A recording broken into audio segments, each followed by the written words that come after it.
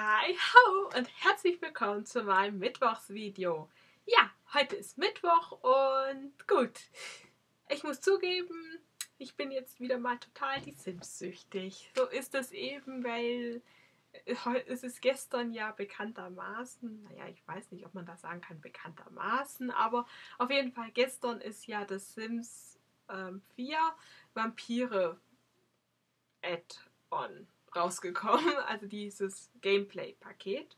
Und ja, ich bin jetzt gerade wie so ein Suchtkranker und kann gerade nichts anderes mehr denken als Sims. und ja, gut, da war wieder Mom. ja, schön. Ähm, und da ist sie wieder. und gut, ähm, die zweite Sache, die ich erwähnen könnte, ist, ich habe es jetzt tatsächlich versucht. Ich habe meine Haare geklettet und ähm, ja, Erkenntnis des Monats. Wartet mal. Sie sind. Und das Problem ist, es sieht aus wie so ein Vordach. Also ist nicht so gelaufen, wie ich es mir erwünscht und erhofft habe. Aber das Tolle ist, wenn man sie hier so zur Seite tut, sieht es etwas ähm, besser aus, als wenn sie dir immer hier überall rumfliegen. Ja, gut. Aber das soll heute nicht unser Thema sein und meine Haare hatten wir jetzt zwei Videos lang als, als Anmerkung. Das sollte jetzt reichen. Und deswegen kommen wir zum heutigen Thema. Ich möchte mit euch über das Thema zum Reden, dass immer alles teurer wird. Dass immer alles irgendwie mehr kostet und immer alles mehr mehr ist und mehr und mehr, aber irgendwie ich nicht mehr das Gefühl habe, dass die Sachen stabil sind. Also, dass sie nicht mehr diese Haltbarkeit von vor, ich weiß nicht wie vielen Jahren noch haben. Also, ein Beispiel. Ich habe ja mir, ja mir vor gefühlt zigtausend Jahren hier dieses Handy gekauft. Ähm, ja, jeder, der das Handy kennt, wird wissen, von welcher Marke das ist. Ich kann trotzdem zeigen. und ich und es läuft und läuft und läuft und läuft. Und ich muss zugeben, ich war jetzt auch bis vor ein paar Wochen, also ehrlich gesagt bis vor, oh, ich glaube zwei Wochen, gar kein Handynutzer wirklich, aber ich hatte es halt. Und ja, das war dann immer so, dass es bei mir hauptsächlich rumgelegen ist und gelegentlich habe ich dann auf meine aufladbare Karte irgendwelche Krams draufgeladen, sowas wie ähm, mal kurz bei einem Gewinnspiel mitmachen oder gut, ich gebe zu, ich sage ähm, okay, das ist jetzt der Moment, in dem ich, äh, wo ich es, wo ich jetzt ehrlich gesagt etwas zugeben muss. Und an dieser Stelle werde ich wahrscheinlich gleich von meiner Mama schlagen. Also, ups, also dies wird sie nicht toll finden, aber ja, es ist so, ich habe früher mal ganz gerne, es gibt diese Spiele manchmal online, wo man sich für ein paar Euro über Handykarte Zusatzpunkte kaufen konnte.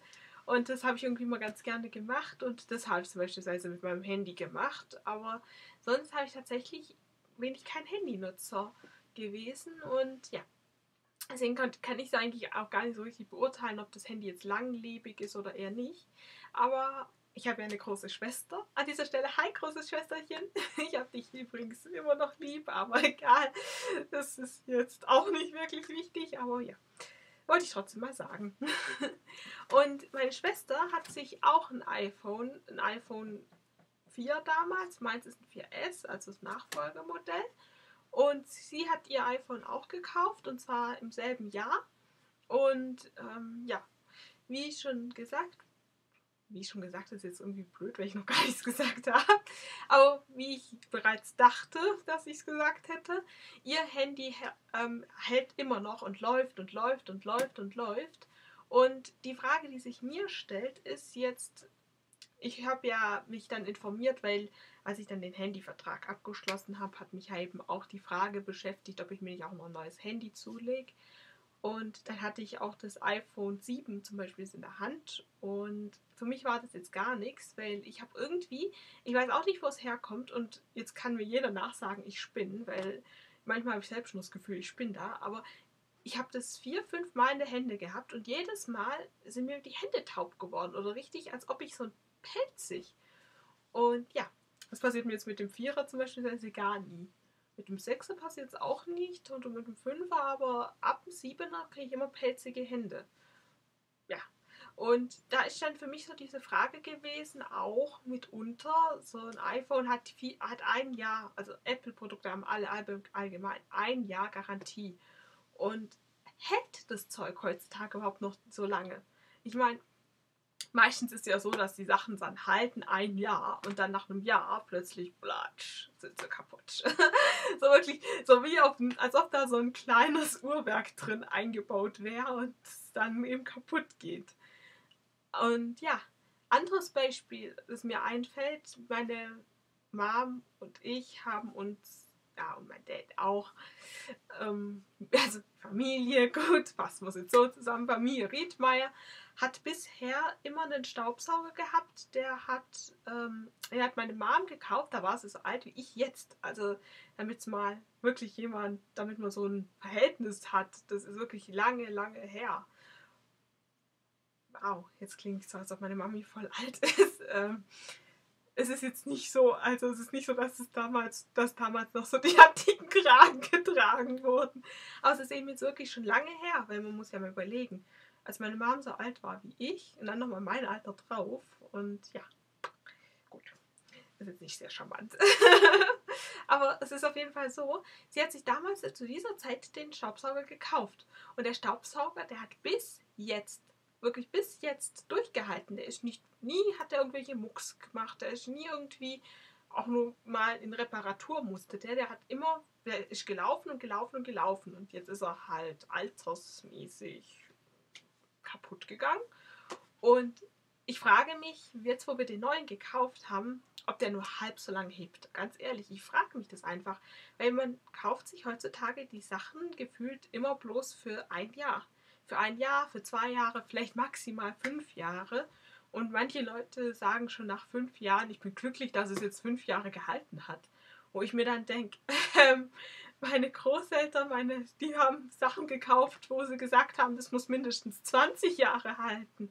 Wieso geben wir uns immer mit kleineren Abständen zufrieden? Und vor allem frage ich mich auch, warum muss immer mehr rein? Warum muss immer mehr Technik? Wieso muss eine Waschmaschine gefühlt deine Stimme erkennen und auf deinen Satz sag, auf deinen Satz die Wäsche waschen? Warum kannst du nicht einfach hingehen und die Knöpfe betätigen? Ich meine, klar, es ist praktisch, klar, es nimmt einem, ist ein Zeitersparnis, aber ich finde, es muss eine Waschmaschine nicht können. Oder ein Kühlschrank. Ich meine, es gibt so viele Kühlschränke schon mit Touchscreen und Smart-Ding und so weiter und so fort. Oder auch diese Smart-TVs, wo ich mir auch denke, äh, wenn ich einen Fernseher kaufe, dann muss der für mich drei Dinge können. Er muss angehen, er muss, einen er muss einen Kanal empfangen können und ich muss drauf gelegentlich mit meinen mit irgendwelche Spiele spielen können. Und mehr muss der nicht können. Er muss mich, er muss weder ins Internet, er braucht wegen mir keine Fotoaufnahmemöglichkeiten, ich muss keine Videos drauf. Ja gut, DVDs, aber ich muss jetzt nicht mit einem USB-Stick drauf Videos abspielen können, obwohl das natürlich praktisch ist. Also ich gebe es zu, meine Videos guckt mein Vater manchmal über den Fernseher. Der hat schon einen viel neumodischeren Fernseher als meiner da hinten. Ja, wartet. Immer dieses, den da. Der ist schon uralt. Ich meine, der ist, glaube ich, auch schon um die fünf, sechs Jahre alt, also Minimum. Und wenn ich das mal überlege, der hebt und hebt und hebt und dann hört man wieder solche Geschichten von, von den neuesten Fernsehern, die neueste Technik, die tollsten Sachen und dann hört man von irgendwelchen Leuten oder auch von Rezessionen, ja, der Fernseher ist cool, der Fernseher ist gut, aber ich habe nach drei Monaten in Reparatur geschickt. Oder sowas wie, ich habe ihn nach vier Monaten in Reparatur geschickt. Oder naja, nach sechs Monaten war er halt ganz kaputt. Und dann denke ich mir so, hm, wieso? Wieso kaufen wir nicht mehr Sachen, die wirklich lange halten? Die lange halten, die lange ihren, uns helfen und an denen wir wirklich lange Spaß haben. Warum müssen die Sachen immer schneller kaputt gehen? Und wieso musste immer, müssen alle Sachen immer mehr können? Wieso können sie, sind sie, können sie nicht mehr nur das können müssen, was sie wirklich vom Ursprung her geplant sind? Eine Waschmaschine Wäsche waschen, ein Fernseher Fernsehen und ein Handy zum Telefonieren. Also gut, und gelegentlich Apps. Und äh, ja, aber warum muss es immer mehr werden? Und warum muss es immer flacher werden? Das ist auch noch so. Und da haben wir wieder Mom. Äh, ja, und warum muss immer alles flacher werden? Wieso können die Sachen nicht einfach dicker wieder werden? Weil je dicker, je mehr Platz haben sie und je mehr Belüftung und je stabiler und je heizsamer werden sie. Naja, das ist meine Meinung dazu. Mich würde interessieren, was ihr dazu denkt. Schreibt es mir gerne in die Kommentare. Und jetzt kommen wir zu unserem allwöchentlichen Querdenker-Quiz. Also, Karte. Und äh, ja, wieso können Boxen nicht smarter sein und einfach mal sowas haben wie, dass man nicht die Karten selbst rausziehen muss, so, sondern dass die sich äh, so rausziehen lassen auch wirklich. Hier. Seht ihr, sogar mal richtig passend. Weil unser Querdenker-Quiz dieser Woche ist alte Dokumente. Ein Aktenvernichter kann, nicht, kann man gut gebrauchen, um alte vertrauliche Unterlagen etc. zu entsorgen. Doch so ein Teil ist nicht günstig. Du hast jetzt eigentlich nur zwei Möglichkeiten. A. Überwinde deinen Geiz. B. Müh, mühevoll Handarbeit mit Locher und Schere. Oder fällt, fällt dir als Querdenker noch eine andere Alternative ein? Und jetzt etwas, was es nicht oft bei diesen Querdenkern-Dingern gibt, ein Tipp. Tipp. Welche hausübliche Gegenstand könnte dir hier behilflich sein? Ich hebe jetzt das Quiz in die Kamera.